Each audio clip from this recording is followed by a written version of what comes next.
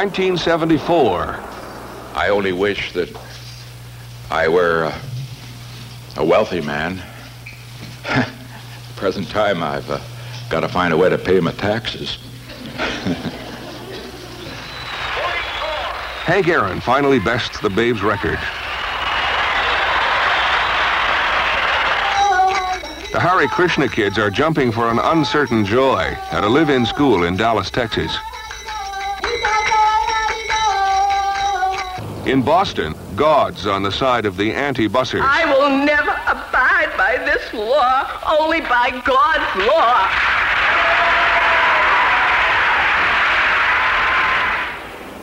In Greece, the colonels are in such trouble, there's nothing to do but ask former Premier Konstantin Karamanlis to come back and take over.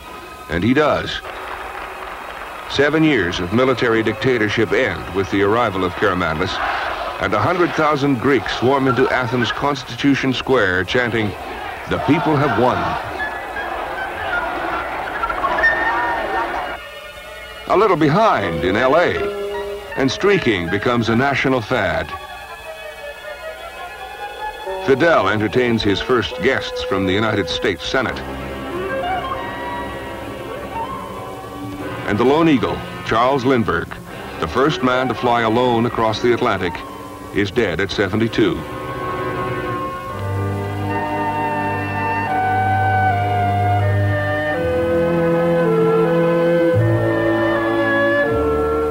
Happy is happy that Nelson got to the White House, even as vice president. Indira Gandhi announces India has exploded a nuclear device, the sixth nation to do so. In Sao Paulo, Brazil, this man is one of 179 to die when fire rages through an office building.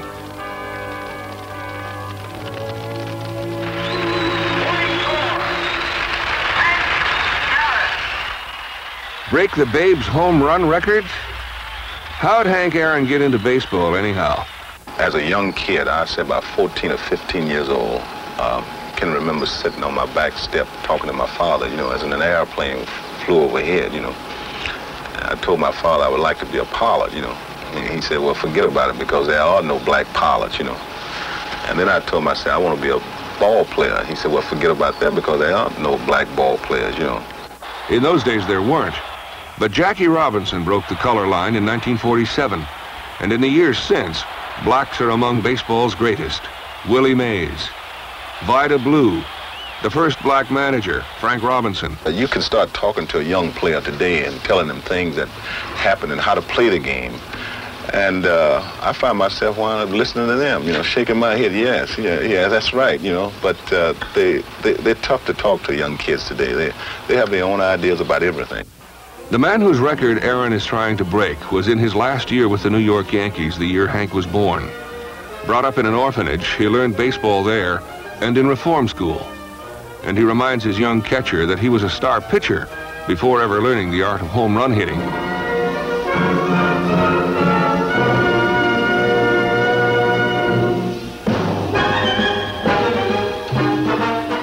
The familiar sight, the gut hanging over the belt. The swing, the crack of the bat. It's on its way. It's going, going, gone. And the babe's spindly legs carry his tank-like body around the bases one more time.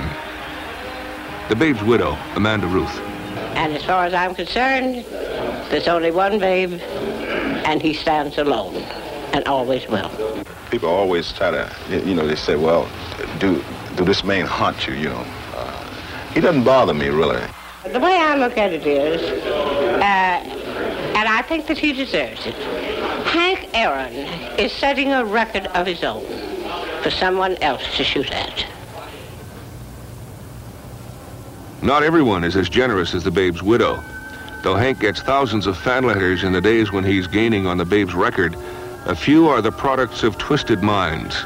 Says one, if you think you can break the immortal Babe Ruth's record, then you better break two legs and get cancer. As you know, niggers are animals, not human, and have a short lifespan.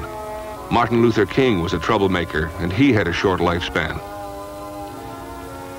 Every celebrity gets hate mail, And to be sure, Hank Aaron is a celebrity. Has all this made you more aware that you're a black baseball player? I've never forgotten it.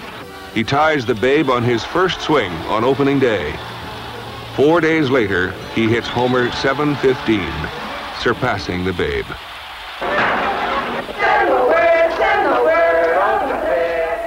Twenty years after the historic Supreme Court decision ruling segregated schools unconstitutional, a U.S. government report shows most of the all-black schools in the U.S. are in northern cities. In Boston, where America's public school system was born, an order to bus blacks into white schools and whites into black schools brings defiance of the law. Nowhere is busing fought harder than in the Catholic neighborhoods of Boston. My children and every mother that's marching in this do not want their children put on a bus forcibly. Forcibly put on a bus. Part of the problem is that Massachusetts officials seem ambivalent. Governor Dwight Sargent. Instead of creating better educational opportunity, we are on the verge of creating worse educational chaos. I will never abide by this law, only by God's law. They, they should stop for them to come over here to America. They're taking all our jobs and everything. We got nothing. Since they came in, we got nothing. The whites got nothing. They took over the whole place. If a child needs to be bused to get a quality education that he can compete in this world, we must give it to him. The law is discriminatory in that it discriminates against me because I am poor and cannot afford to buy a suburban education for my child, move to suburbia and purchase whatever kind of education I think my child should have. 11.4% of the U.S. population is black, and some are making it into the mainstream. About a fourth of them are labeled middle class. But the unemployment rate is double that for whites, and the median income for blacks isn't rising. For white Americans, it is. We, as middle class Negroes, when we came up, we gave up being black. Don't tell me you did. You did. You gave up being black just like I did to make it in this world. I spoke the proper King's English. I didn't fight nobody on Saturday night. I wasn't loud and I wasn't rowdy. So I'm having a hard time myself with my son, you know. Imagine what would happen if he went to the school in Roxbury. A lot of your neighbors feel the same way. We all feel the same way, he's right. The answer is to get rid of them. The blacks. Get rid of them out of here. That's right. Even the spicks. And the buses roll on. He releases transcripts of the infamous White House tapes, which, despite the expletives deleted, confirm the worst fears of White House abuse of power. The House Judiciary Committee votes out three articles of impeachment. And finally, on August 9th, Nixon is leaving. Well, members of the cabinet, members of the White House staff, all of our friends here, I think the record should show that uh, this is one of those uh, spontaneous uh, things that we always arrange whenever the president comes in to speak. As I pointed out last night, uh, sure we've done some things wrong in this administration. And the top man always takes the responsibility, and I've never ducked it. But I want to say one thing we can be proud of. Five and a half years. No man or no woman came into this administration and left it with more of this world's goods than when he came in. No man or no woman ever profited at the public expense or the public till. The transcripts of the Nixon tapes are a best-selling item, hanging Nixon with his own words, his own spools and spools of tape.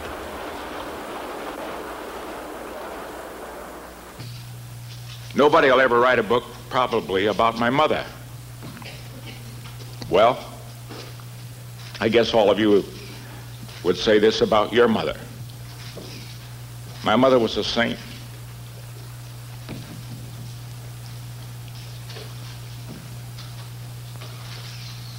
And I think of her, two boys dying of tuberculosis,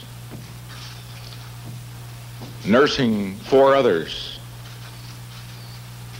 in order that she could take care of my older brother for three years in Arizona and seeing each of them die.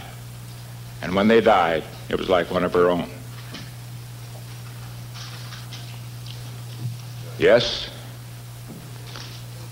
she will have no books written about her.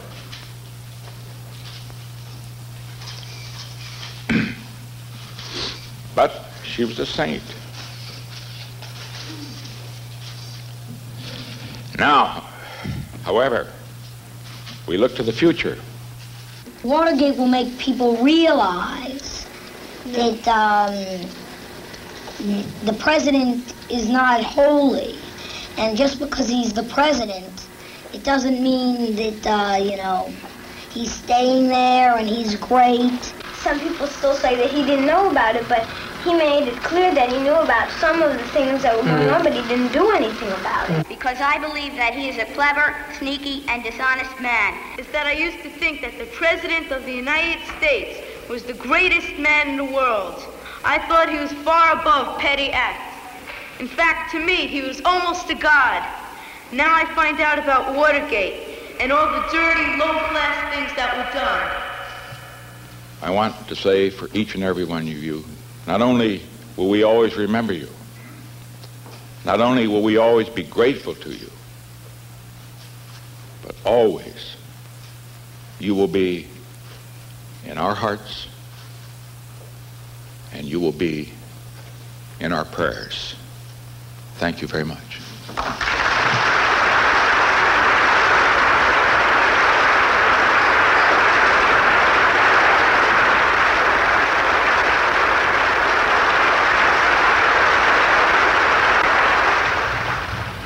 Another first, a U.S. president who wasn't elected to even the number two job, Gerald R. Ford.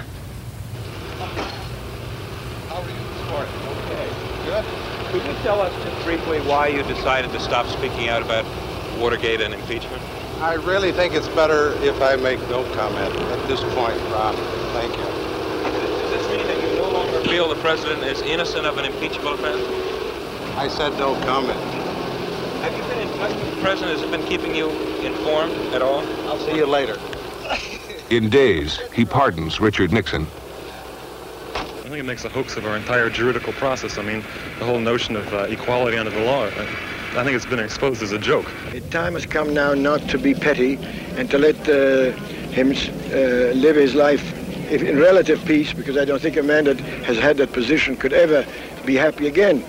And I think that uh, Ford did the generous thing, and I think the American people must forget about Nixon and concentrate on what they have to do in the future rather than to look at petty revenges of the past. Uh, this decision and act on the part of the president will bang and rattle for the rest of the decade and maybe for the rest of the generation. Because clearly, uh, a man accused of a crime uh, will now be able to assert that if he were president of the United States or if he had a friend in high place, uh, he would be fully pardoned. And I don't know how one answers this. And I think it has a very devastating effect on uh, the principle of law and order, most generously considered. A fool would use, you know, um, another person. But um, I'm not a fool, and uh, I don't let people use me. Bunnies selling stereos? Little League allows the girls to play now. Some churches are ordaining them priests. But the liberation message hasn't been read by the ad man.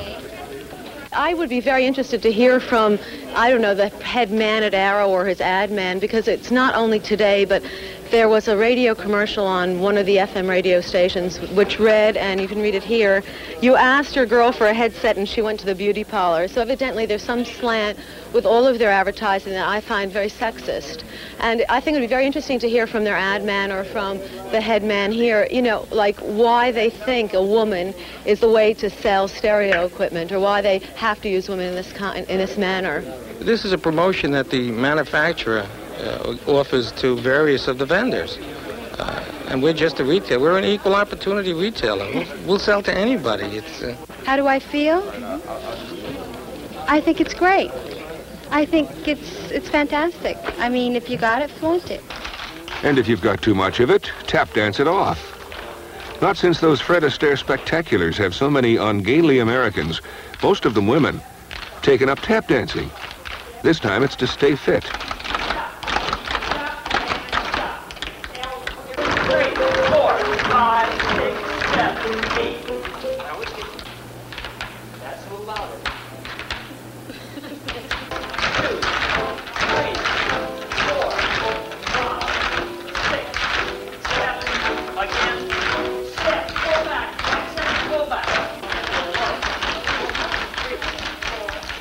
What's so great about that? You know, I kind of move everything, and I don't mind doing it. That's what's so great about it. I really don't. I'm just having the best time here. I feel 12 years old again. It's fun. It's much more fun than sit-ups and push-ups. and there is a change because I was riding bicycles and swimming and taking ballet lessons, which builds muscle. Mm-hmm. But here, all of a sudden, I, I think I look like Cyd Charisse. Maybe Cyd on snowshoes.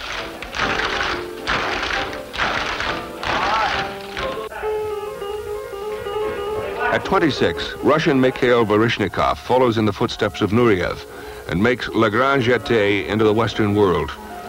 Dancing in Canada with the Bolshoi as a guest artist, Mikhail slips out the stage door of Toronto's O'Keefe Centre into a waiting car with American friend Christina Berlin. The Russians first say she's abducted him. The media is interested in every detail, all recited in flawless Russian dancing with half a dozen Canadian and U.S. companies in later years, he's soon making 200000 a year in New York.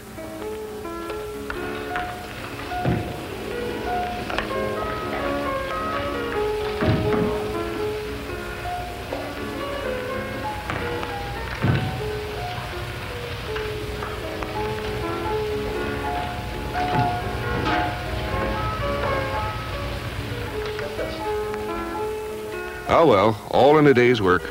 Always leave the audience wanting more.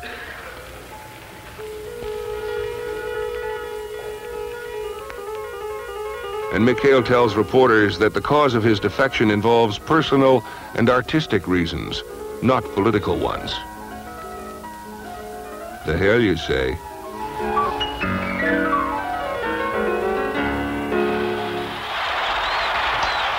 She's the female athlete of the year in 74, Chris Evert wins 15 tournaments, more than a quarter million dollars.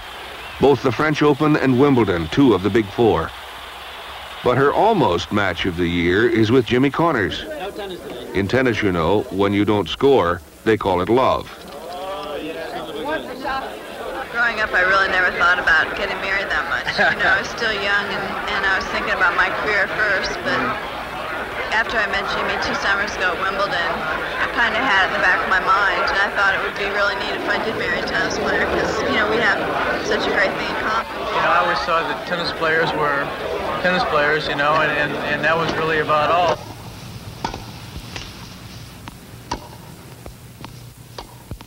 The marriage didn't come off. Jimmy wasn't at his best in mixed doubles.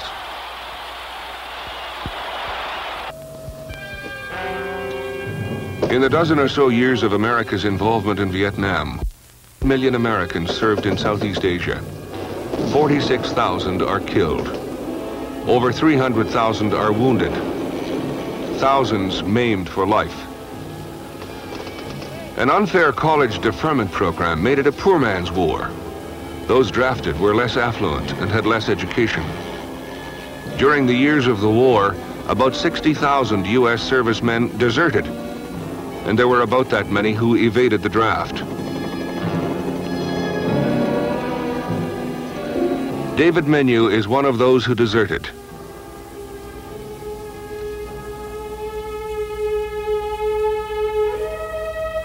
When he went to Sweden in 1970, he left a note for his parents.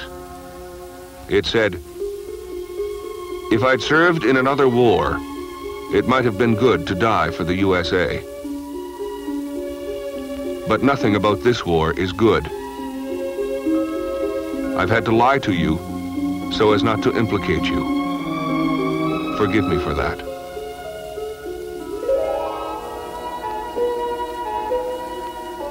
How do parents react to a note like that? We just both nearly died.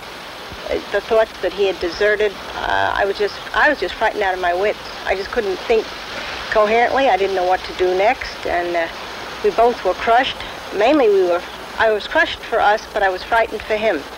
But once this had occurred, then we both started reading everything we could find on the situation and listening to uh, commentators on radio and on television. And we came to the conclusion that our government was wrong, that the young people who were protesting the Vietnam War were right. President Ford offers his amnesty plan. Clemency Review Board of nine distinguished Americans whose duty it will be to assist me in assuring that the government's forgiveness is extended to applicable cases of prior conviction as equitably and as impartially as is humanly possible. It's a setup, there's no question about it, and actually we don't need it. We've got a judiciary system in this country that has worked awfully well for almost 200 years. So why a review board? I have a wife. I can't just go, uh, you know, pick up my bags and go home without asking her what, you know, what she thinks of life. The government has caused me a lot of grief as well as I may have caused them some, because it's, you know, years away from America. It's the, it's the fact that I may never come home again. I may never be able to do more than tell my children about where I was born and hope that they can come there someday. One of an estimated 3,000 draft evaders in Canada. and uh, periodic terror and uh, hatred that I should have been forced into that situation. This is a much more painful period right now than the time underground was. Especially with this amnesty thing. This really personally complicates it because it's dangling in front of me. Maybe I can go back. Maybe after it's now five years, maybe I can see these people again. If these young people had not protested the Vietnam War and caused Washington to pay some attention, I have no doubt that uh, up to very recently, 19-year-olds would still be finding their way to Vietnam. I am today signing the necessary presidential proclamation and executive orders that will put this plan into effect. Yeah, it was worth it. They didn't turn me into a killer. It was worth it. For thousands of years, it was quiet in the desert, not more than the swish of swirling sand, the sound of an occasional crane. And though it's still primitive, the world's need for oil puts native shacks not far from the storage tanks and the drilling. The Arab economies boom. Here and in other parts of the world, man has built pipelines, umbilical cords to the energy source he needs to make his world function. In the early days in Texas, Alberta, and California, oil on a farmer's land was a nuisance. Now, in 1974, oil goes from $3 a barrel to $11.65, and regular gasoline in the U.S. from 38 to 55 cents a gallon. Oil is the number one energy source in the world, and the supply is running out. Because only a few countries have a substantial supply in the ground, the price can be manipulated, controlled, used to force political concessions. It is the one commodity in today's world that could conceivably provoke a war.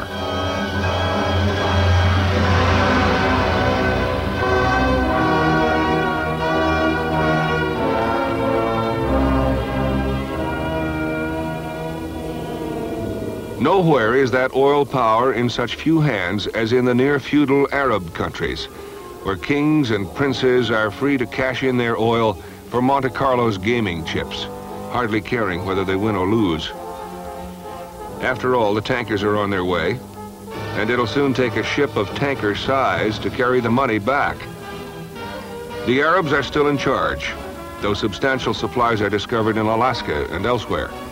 As the West tries to escape that vice, the Arabs keep tightening.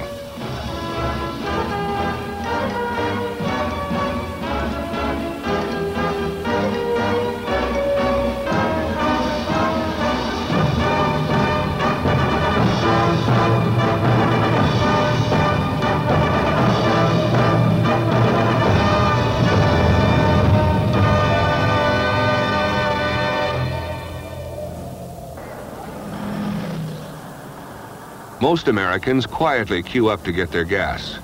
But truck drivers are a tougher breed. Some places you can only get 15 gallons, uh, and a lot of times it's not enough fuel to get you to the next truck stop. So you're stranded until you can get fuel. Uh, it's a mess. There's no control over it. It's just a plain mess, and this is our form of protest.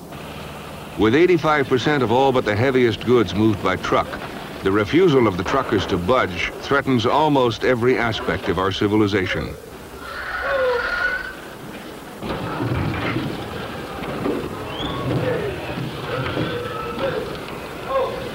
The government announces a plan in January to cool the truckers, but the strike comes anyhow, and it spreads to 42 states. And there is violence, beatings, burned rigs. Two non-striking drivers are killed, one shot to death, the other in an accident after a rock goes through his windshield. As far as anybody that goes back, they might as well just turn around and reach over and pat the oil company on the back and say, well, you won. And if they got that attitude, then I don't even bother going back to being a trucker. Raise that speed limit. Raise the speed limit back where it was? Back, yeah, the yeah. speed limit raised back like it was because we've already been having trouble with the, with these fee grabbers to start with. Uh, they already getting out here. These transmissions in these trucks ain't made to run 55 miles and an hour. And we're using so much more fuel uh, when it's cut back like it is. The government finally rules that the drivers need not wait 30 days before passing on additional fuel costs to shippers. The Energy Office agrees to supply 100% of their fuel needs. And the trucks get rolling. Evel Knievel. He calls himself a comic book hero in real life.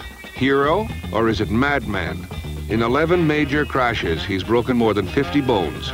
This year, it's the Snake River Canyon. I think I've probably become immune to pain. I do not have a high pain threshold. However, I've learned to live with pain for so long that I think uh, what would hurt an average person doesn't hurt me so much. I've jumped with a broken back when they had to inject me with xylocaine. That's a, painkiller like Novocaine is. I've, uh, I've jumped with broken hands, uh, casts on my legs. That's all part of it. And uh, if you want to be in this business and you want to be the best in the world and you want to wear a red, white, and blue number one on your back, you have to be man enough to handle the consequences. He's jumped nearly everything else. Why not a canyon?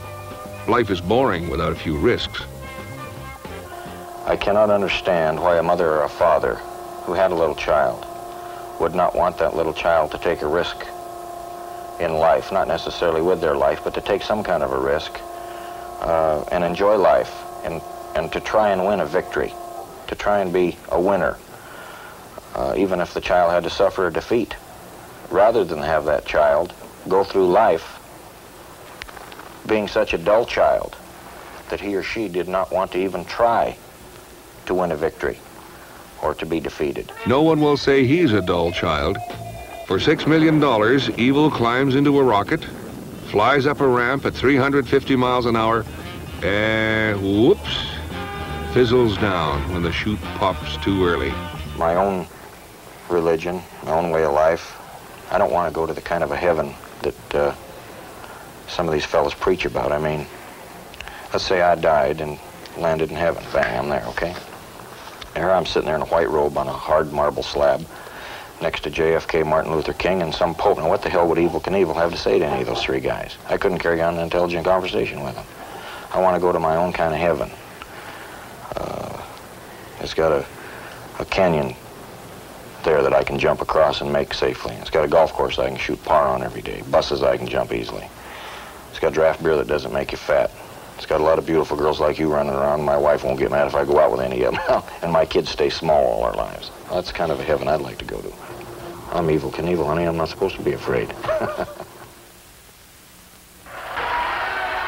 Some say these kids are reaching an all-time high, on pot that is, with half the students in North America having tried it, 10 times the number who'd experimented in the 60s. In many areas, being caught with the weed is a felony. And what do you say to that? It's ridiculous. All these kids smoke pot. They smoke it all the time. They came here to smoke it out in the open today. No law is going to stop them. It's only what you're only going to do is stigmatize them as felons, you know, by uh, by passing these kind of laws. We want free marijuana. We want a guaranteed weekly stash of one ounce of pot. The root of this ruckus goes back to the early 60s when an ex-Harvard professor led a movement that said stoned is the only way to go. LSD king Timothy Leary. Old professors never die, and um, what I'd really like to do is just uh, give you an annotated uh, comment on the many things that I hear in this record. As you probably know, this record is made to be listened to while you're high. And it's designed to get you high. Perhaps to ensure his immortality, Leary formed his own religion and labeled LSD, marijuana, and peyote as sacramentals. Nevertheless, he went to prison for smuggling pot. He escaped to Algiers, but was caught and returned to the U.S. In 1974, he's behind bars. There's no war which can be so ugly, a civil war, as the misunderstanding between two generations. And that's what I'm trying to avoid today. I see myself as a bridge between the middle-aged generation of whiskey-drinking book readers and this new generation who've been brought up on new forms of energy like television, psychedelic drugs, uh, space travel, and so forth.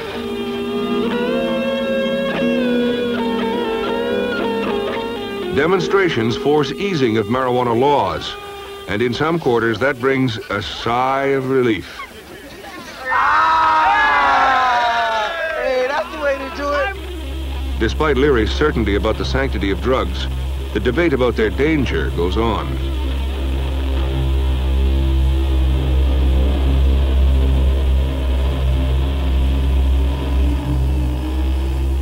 A thousand gay liberationists demonstrate in New York, urging the city council to pass a homosexual rights bill. Firemen want no gays in their department. A gay person enters that fire team, he will be automatically rejected. And once he's not part of that team, he's not part of a fire team.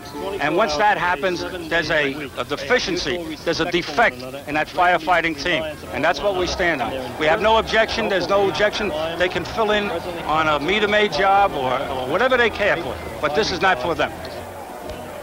Washington, Detroit, San Francisco, and Minneapolis all passed similar laws. But New York votes no. Homosexuals teaming up to save someone's life in a building. man. Because there are segments in our job that would never accept homosexuality as being a no, norm. but they'll accept someone saving someone else's life, right? Oh, you- your job, you your job is to save save their lives, right? A familiar scene, chanting devotees of Hare Krishna, spreading their message on a street corner. It's one of the largest and best organized of the counterculture religions. In Dallas, 98 children learn the basics from their spiritual master in a school called Gurukula. Would you like to go home and live with your mother? Why not? Our spiritual master, our spiritual master told us to stay here. Why were you sent here? Our spiritual master said we should come here. School founders say they seek an alternative to the public school system, which they say breeds hippies, malcontents, and misfits. They teach the three R's, but in the context of Krishna consciousness. Children live at the temple school, separated from their parents. One mother said, a little reading, a little writing, and a lot of love of God. That's what my kid needs. You think your mother misses you? Yes. Yes.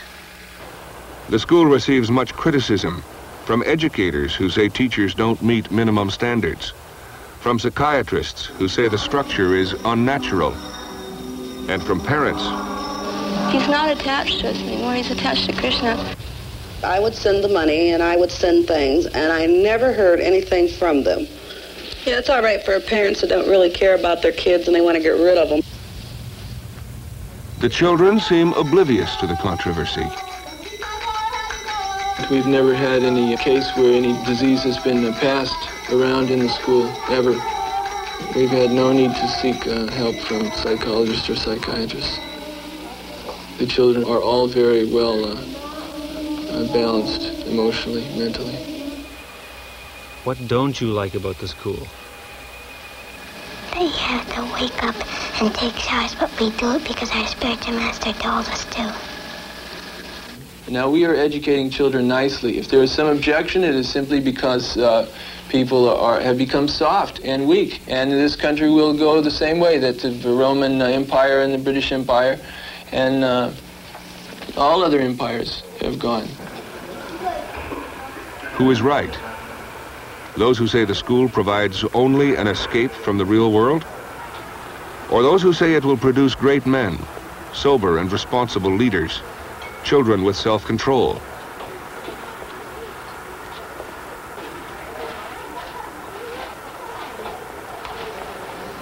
We want to become strong and fit to live in this world and to conduct ourselves in a responsible way and also to be responsible American citizens. When was the last time you saw your mother? No. When was the last time you saw your mother? No. Do you ever miss her? Yes. Would you like to go back home and live with her? No. Why not? Because my spiritual master told me to stay here. Why were you sent here to the school?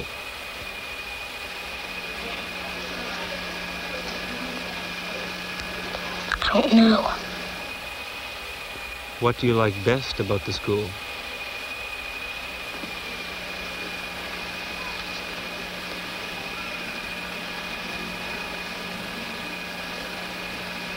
I don't know.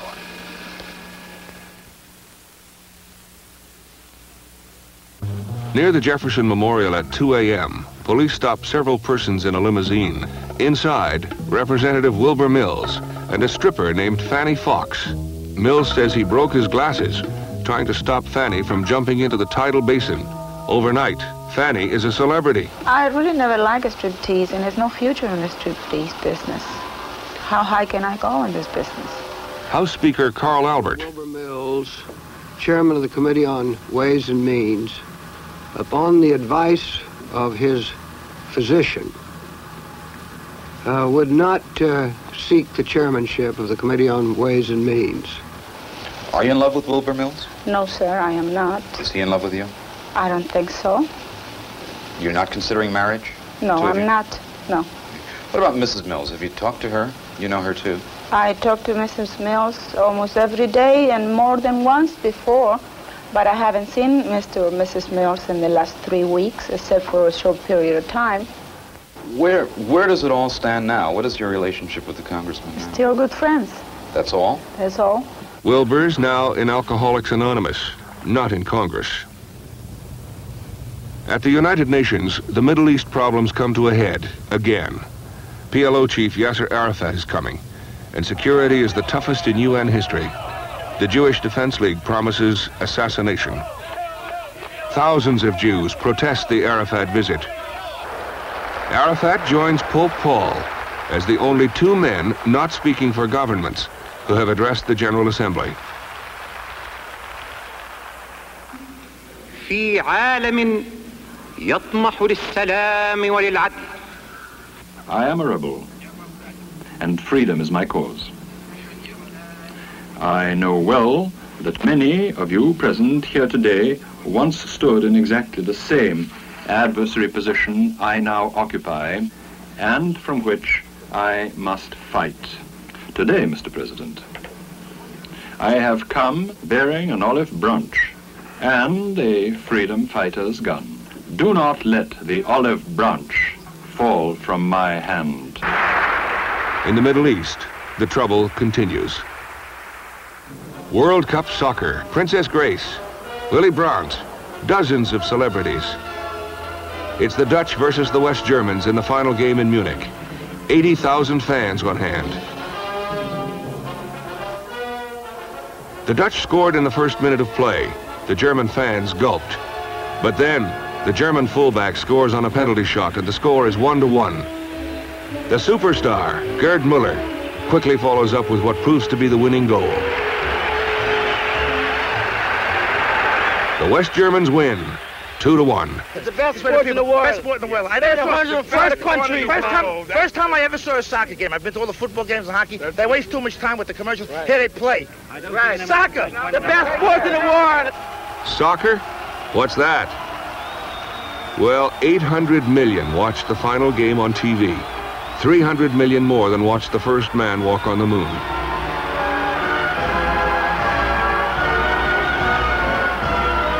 The big walk today is that of West Germany's captain, Franz Beckenbauer. He does his walk to accept the World Cup.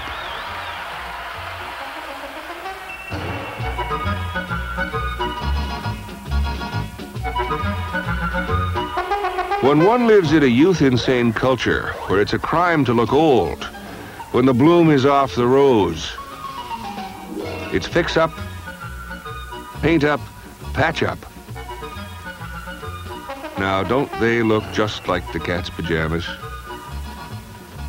You gotta stay young. Unless you're a celebrity, they somehow transcend the problem. At 76, William O. Douglas sits on the Supreme Court. The man who brought us mobiles, Alexander Calder, works at 76. No one laughs at his youthful notions for jetliners. At 84, Rose Kennedy is almost venerated. Some we do laugh at.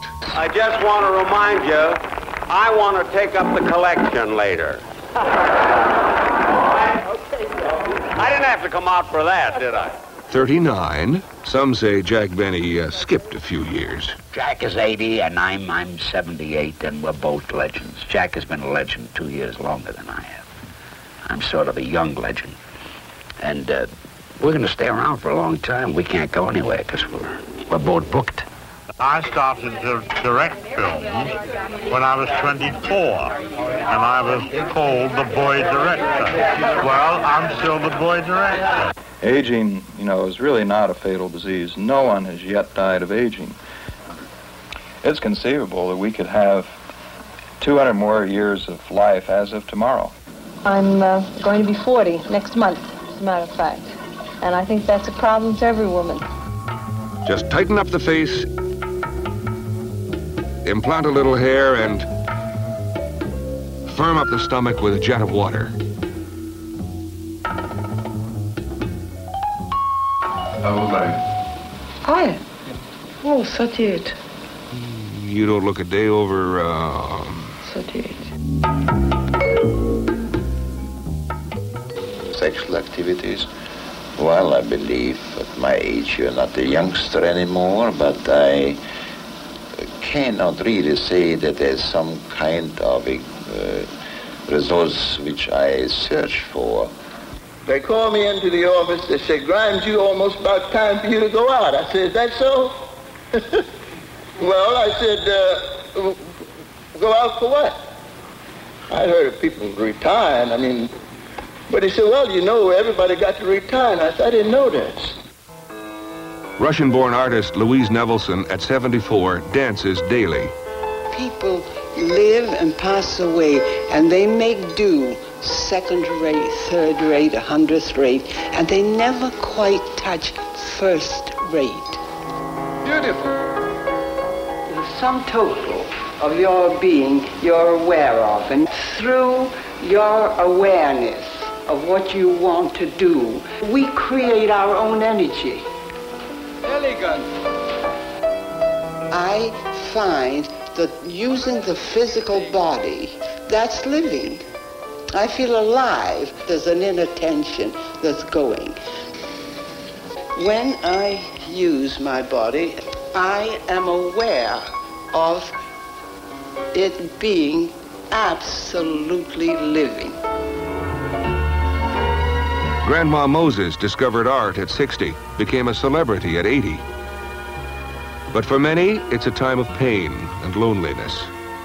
Some are cheerful, some just whittle away the time.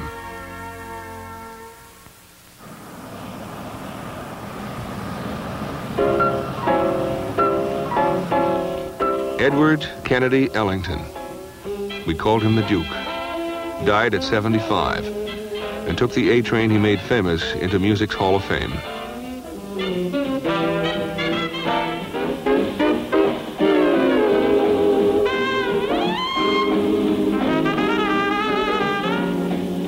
More than 12,000 mourners show up for the funeral of the man who played Harlem's Cotton Club and London's Westminster Abbey.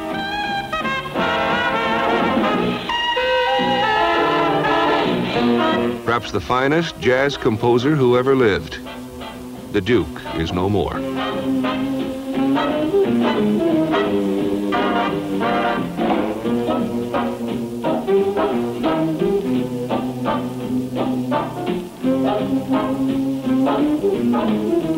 Nineteen seventy-four.